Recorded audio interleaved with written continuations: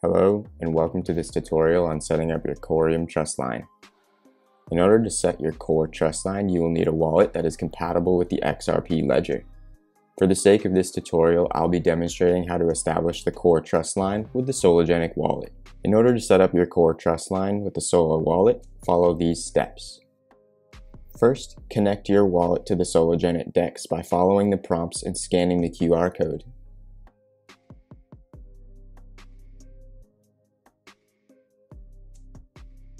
Ensure your wallet contains at least 2 XRP as it will be reserved to establish the new trust line.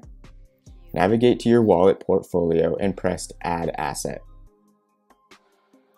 Select Custom Asset and input the following data, which is available in the description below, including the core gateway, the issuer, the core currency code, and the limit.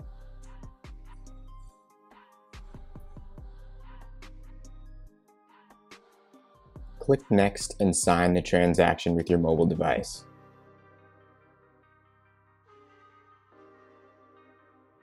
Congratulations, setting up your core trust line is now complete.